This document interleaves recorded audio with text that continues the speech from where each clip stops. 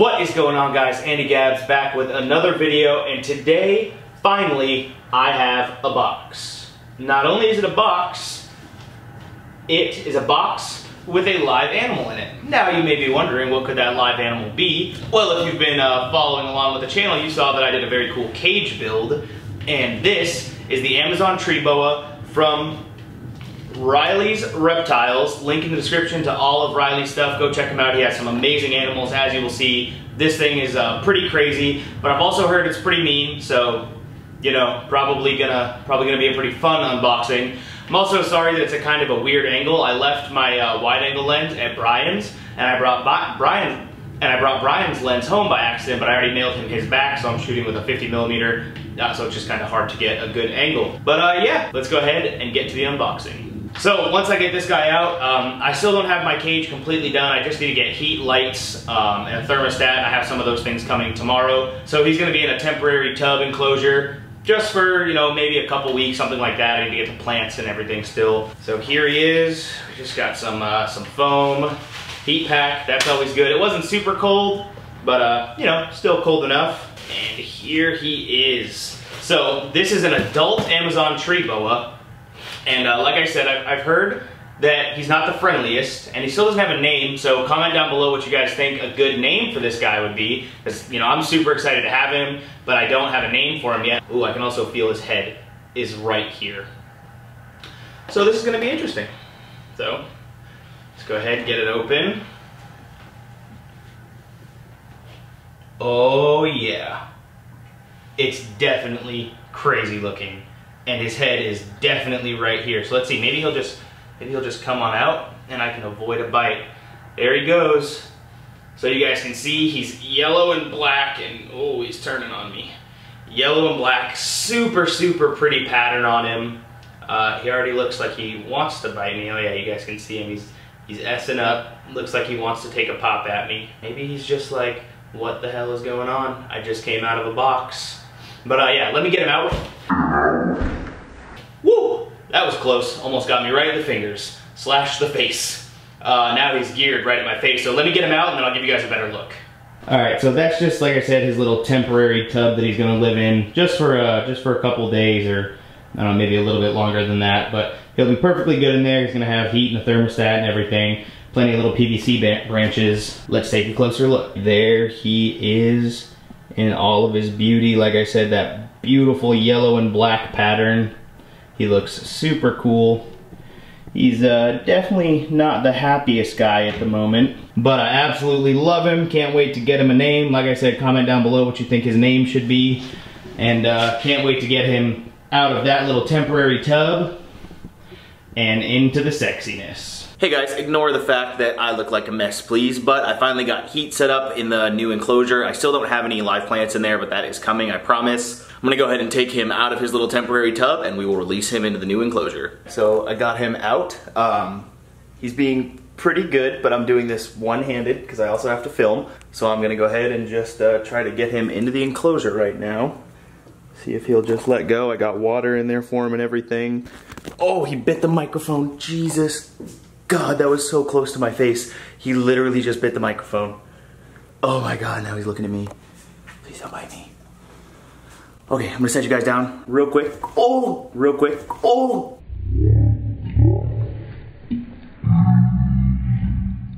God, he just tried to bite me in the face. I don't know if you guys saw that. Okay, I'm gonna set this down real quick. Whew. Uh, that was sketchy.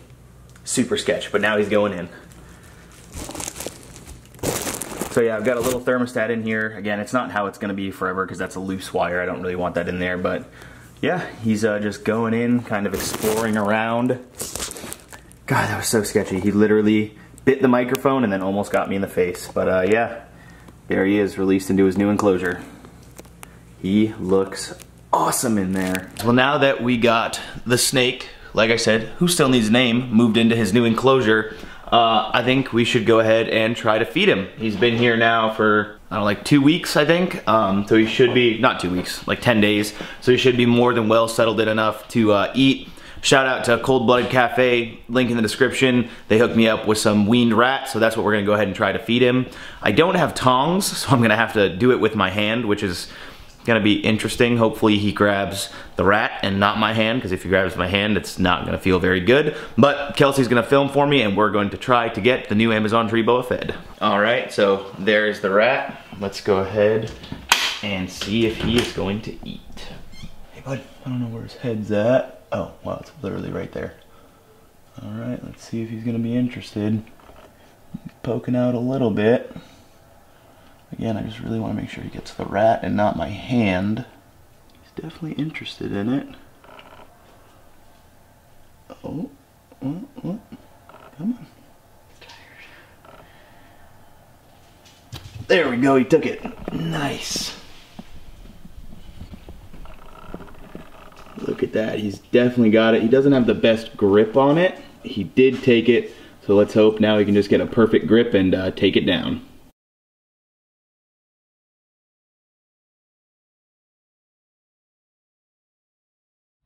Hey guys, what's going on? Um, I've been filming this video over the course of, I don't even know, maybe like a couple months now. And uh, I don't think I said in the beginning of the video, I know I said the snake came from Riley's reptiles, which it did. Riley did.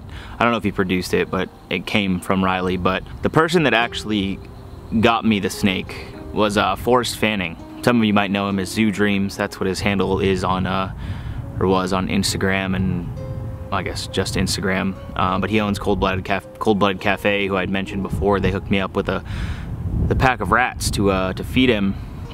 Um, and as most of you probably know by now, I guess some of you may not know, um, Forrest uh, Forrest passed away. Um, at the time that I'm filming this, he passed away about a week ago now, I think. Which sucks, man. Me and Forrest met almost two years ago now, I think, at a reptile show. Um, but we had talked, you know, prior to meeting. But it wasn't until that we met that we actually um, we became pretty good friends. You know, me and me and Forrest talked almost daily, um, not every single day, but you know, we we talked often about reptiles and snakes and alligators and all kinds of cool projects that he had, but things like sneakers too. We crazy bonded over sneakers. I tried to get him, you know, every pair of Yeezys that came out, he would always text me, be like, hey dude, do you, do you think you can get those for me and Dez? I was usually pretty successful. I think that he liked that about me. I'm pretty good at getting shoes when I need to. Um, unfortunately, you know, a lot of the time that me and Forrest spent together, we didn't really film a lot. I don't know why. I mean, we filmed some stuff, which you guys will see in a in a couple minutes. I don't have a ton of footage with him, and I, I honestly don't even have a ton of pictures with him. We have a few, but uh, not that many. And I still don't really know what to think about everything. It's like I said, it's been about a week now, but it just, it still doesn't seem real to me, I guess. Like we had just talked literally the day before he died.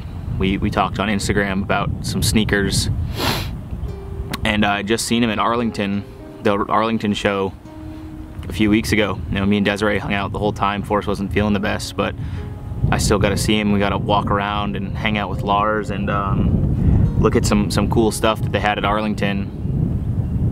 And uh, he was supposed to come out and go out and party with all of us, and uh, he he didn't make it out. And uh, one of the last things that he said to me, he said, "Don't worry, I'll make it up to you," uh, because he didn't come out. He said, "Don't worry, I'll make it up to you." And uh, that hurts, knowing that that's like one of the last things that he said to me that he thought he had to make something up, which he didn't. I didn't really care. You know what I mean? Obviously, I wanted to hang out with him, but I don't know. It just hurts that that's one of the last things that he said. But uh, I was lucky enough to be able to go out to South Dakota for his services um, with Desiree and Steven was there as well. And uh, we got a, you know, we had his service and we went to Lake, God, I don't remember, some lake in South Dakota, Lake Sheridan, might be the name of it. Um, and we spread his ashes. Uh, and I have some pictures and video that I want to show you guys. First, I'm going to show you just some of the dumb clips that me and Forrest filmed together. And um, yeah, I'll show you some of the stuff that we filmed together and then um, some pictures from his services as well as the video. So if you're not ready to see that stuff, um, I'll put like a, I'll come back before I show the pictures from his services and stuff. But I hope you guys enjoy these uh, clips of Forrest and yeah, I don't know, I just, I hope you guys enjoy seeing some stuff of him. I'm a multi-species guy. I, I'm all about just trying to go out there and find the rarest animals, the most, uh, the, it, the harder to get it is and, and the more challenging it is to figure it out. That's, I guess, what intrigues me. And so I'm out here trying to uh, preach getting out of ball pythons, you know, that's, Badass. that's what I'm passionate about. All right, and Forrest, what do you have to say about Brian? Uh, I just, I just love him. I miss him. I wish he was here. So he could smell his poopy pants. And this sexy gentleman right here. This is Forrest Fanning. What's up, guys? So leaving them, nice to hang out with you guys. Sunday I'll be back. All right guys, so still walking around the show with uh, Nice. Mr. Forrest, just checking around some cool stuff. Uh, Just gonna walk around and show off some more random See what's stuff. good. Yeah, Forrest has already been around, so he's gonna kind of guide me through the uh, cooler stuff here. Craziest table here again. It's worth coming all the way out here just to see this. Yeah. It's crazy variety. So now that those clips are over of just some of the dumb stuff that I filmed with him, like I said, I, we never really filmed when we were together. We kind of just hung out and I don't know, just didn't film, I guess. But now I want to show you guys um, some of the pictures from his services, some of the video that I took. Um, some of it's kind of sad, so just you know, be advised, I guess, that there's some sad stuff. Uh, yeah, let's take a look at that.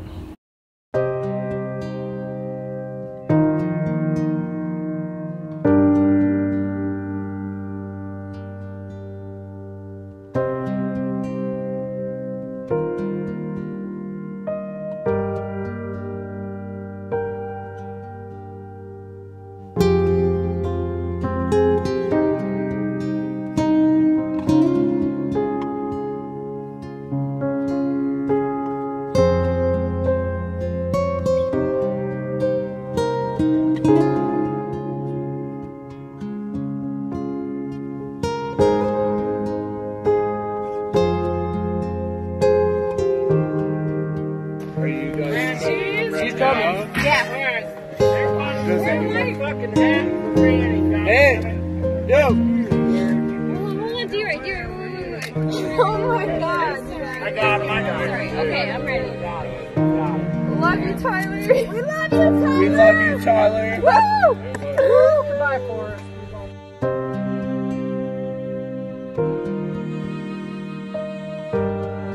Hope you guys, I don't know, found that. I don't know, maybe some closure. Or, I don't, I don't know. I don't know what you guys would think of that, but I wanted to take pictures and some video, mainly for Desiree, but also just for the people that couldn't make it, I guess. Yeah, this whole thing just sucks. You know, it's never easy to lose a friend.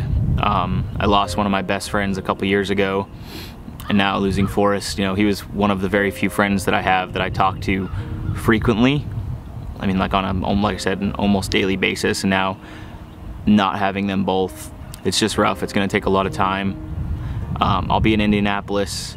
We had it pre-planned that I was gonna go, and we were gonna mess around with all kinds of stuff at his farm in Indy in a, in a couple weeks. Um, I'm still I'm still going. Me and Desiree talked about it. She said that I could still come and check everything out. It's just not going to be quite the same without him there. No one really expected Forrest to be gone as soon as he was. Just uh, yeah. Thanks for uh, thanks for watching, guys. Hopefully my next video is a little bit more upbeat. Forrest, I uh, I love you, man. I wish that I was able to to see your place with you there. Um, but uh, Desiree is to keep the legacy going, and uh, as she said, your zoo dreams will uh, will become a reality. If you guys want to donate to uh, Forrest and Desiree, or if you want to donate to Desiree and Lars, who's their uh, their little boy, I'll put the links in the description. You guys are more than welcome to send them send them some love or send them some messages. Um, yeah, thanks for watching, guys.